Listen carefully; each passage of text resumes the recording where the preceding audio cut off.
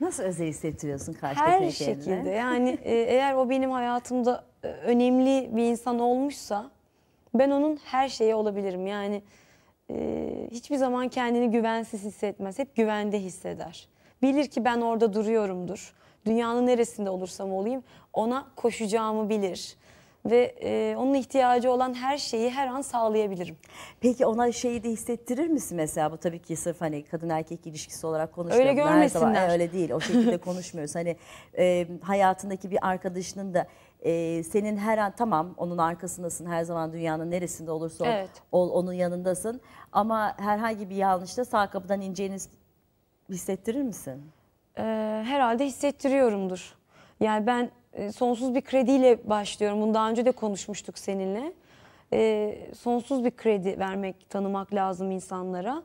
Çünkü e, onu düşünüp "Hı, ben bunu bir deneyeyim falan gibi bir durum yok bende. Bir insanı sevmişsem elektriğinden e, onu hissediyorsunuz zaten. Hayatıma bir şekilde girmişse arkadaş olarak, dost olarak, herhangi bir şey, iş arkadaşı olarak e, kredi yavaş yavaş azalmaya başlar. Evet onunla başlayıp hani Evet. 9 8 7 ile falan devam Evet. etmek lazım. Hani öyle Evet. birden başlayıp ona çıkacağına. Evet ben evet birden başlamıyorum. Sonsuzdan başlıyorum. Sonsuzdan. İyi geceler iki güzel sarışın bayanlar. Şu anda sizlerin yanınızda olabilmeyi çok isterdim. Bu, bu arada Gülşen Hanım'ın yeni albümü hayırlı olsun. Sabah Hanım bu sefer de mesajımı okumazsanız beni üzer programınızı seyretmeyeceğim. Bu kısmı okumayın diyor. Okudum ben dayanamam siz öğretmensiniz. Ee, mesajı okuduktan sonra o güzel gözlerinize 10 saniye bakarsanız sevinirim diyor. 10 saniye. 10 saniye. 10 saniye aslında öyle kısa gibi geliyor ama uzun bir zaman 10 Burada saniye. durunca değil mi? İkimiz Orada de- değil. O zaman şey ikimize pencere yapalım ikimize bakalım. Bir Beş 10 saniye sen bak, şöyle. beş Hadi saniye ben baktım sıra sende. Sen de bir bak. Öyle şu şu. Nerede? Seçecekler şimdi. ha. Seçin. Hangimiz Bir taraf çok seçin. Hangisi Sabah mı ben mi? gibi. Öyle şeyler oluyor ya. Bir de şeysin de sen seksi kadınsın. Hani öyle seks, bazıları hani seksi olmaya çalışır bir şeyler yapar hani açarlar ederler falan filan. Öyle değil hani bir bakışında, duruşunda, oturuşunda. Teyzem soruyor hala sıfır beden mi diye inanamazsın daha da küçülmüş. Ondan Vallahi. sonra bana hep o soru geliyor sıfır beden. Çünkü insanlar o furyayı bir kaptırıp e, çok zayıflayıp sağlıksız hallere düşen bir- birçok insan oldu dünyada da Türkiye'de de. Ben sağlıklı yaşamaktan yana bir insanım. Yediğime, içtiğime, uykuma, sporuma çok dikkat ederim. Çünkü benim kendime ve e, dinleyicime olan saygım bunu gerektirir her zaman. Haftanın 3 günü, 4 günü sporumu yaparım. Sıfır beden falan da değilim ama çok fitim. Yani gerçekten evet. fitim yani. Bunu inkar edemeyeceğim. Tabii sahnede falan da çok işine yarıyor Tabii değil mi o kesinlikle. kondisyon? Evet, kesinlikle. Benimle birlikte çalışan insanların da işini kolaylaştırıyor. Stylingimi Ceyda Balaban yaptı. Çok şanslıyım diyor seninle çalışırken. Çünkü e, giydir, giyer, e, bir de konuşabilsem giydirdiği her şey e, oluyor. Hani böyle bir yerimden yağ fışkırmıyor falan. Bunlar önemli şeyler Önemli tabii şeyler ki. tabii ki. Peki burada albümüne e, Dillere Düşeceğiz Seninle isimli şarkıyı almanın hani belirli bir sebebi var mı? Çünkü senin yaptıklarının dışında tek başka şarkı o. Evet. E, bu benim Sevgili İlk- Nazan Öncel'in şarkısı Nazan? Öncel'in şarkısı.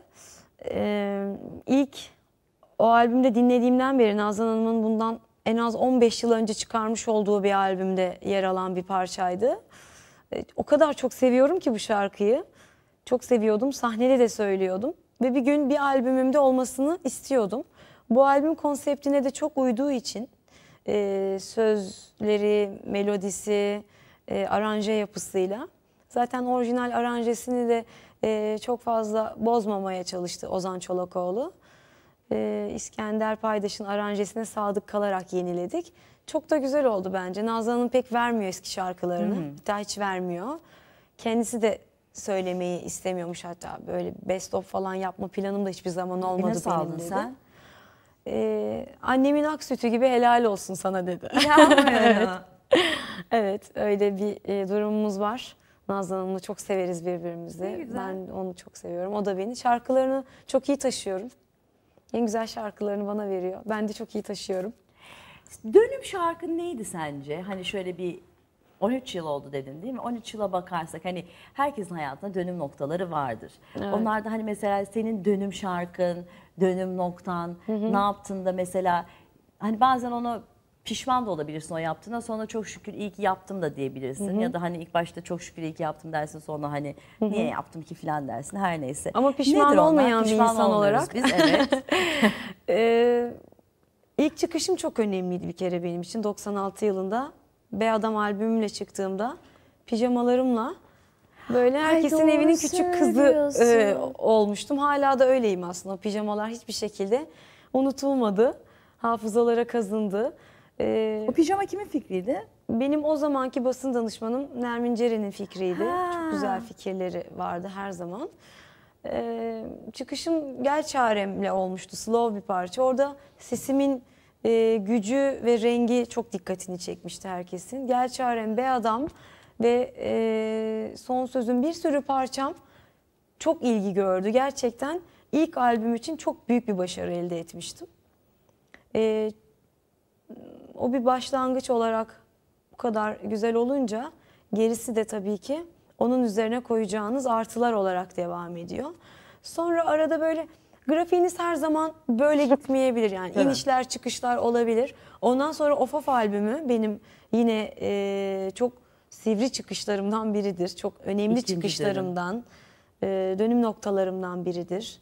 Sonra onun üzerine koyduğum yeni bir albüm oldu. Yurtta Aşk, Cihanda Aşk.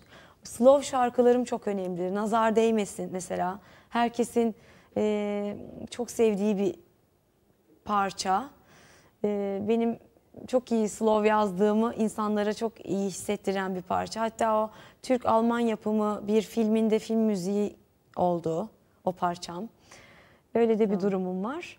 Ve bu albüm inşallah öyle olacak. Dönüm Bu albümdeki hangi slow olacak. sence ilk patlar? Ee, bir taraf set çok beğeniliyor zaten onu söylemiştim ama onun dışında e, Hükmen Mağlup diye bir şarkım var. Albümün dokuzuncu parçası. O da aynı şekilde çok ilgi görüyor ama Nihat Odabaşı'na göre tamamen yanılsama olmalı. İkinci klibimiz ona göre. Tamamen yanılsa. Ha. Evet, üçüncü parça. Üçüncü parça mı o? Evet. Bakayım hemen sözüne. Uçakta yazdığım bir şarkı. Nihat da şey doğru bilir ama. Evet, bayağı biliyor gerçekten. Onu mu söylesek acaba? Gerçi onu sen seçmemişsin ama. Seçelim. Hemen şimdi. Onu mu söyleyelim? İstiyorsanız söyleyelim. Hangisini istiyorsun? Ya şey ezber bozan ya da tamamen yanılsama. Sen seç. Ben uyarım. Yok şey. Bilmiyorum hangisini se Bakayım ezber bozanın sözlerine bakayım. Ben söze göre seçeceğim. tamam.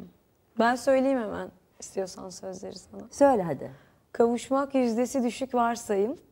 Evet hep var olasılık. Nedir sanki kar payım? Anlamam küsürattan. Düşelim mi bunu da aşktan? Bak yine şaşırdım düz hesap yapalım. Eldeki mühimmatla sağ çıkılır mı bu iç savaştan? Bak yine yenildik teslim olalım. Sen hep tedbirler aldın ben gözü karaydım. Sen kadere razı dünden ben ezber bozandım. Çok geç olmakla birlikte sevdiğime pişmanım. Sen boyun eğdiğinle kal, ben isyandayım. Tamam gelsin ezber bozan.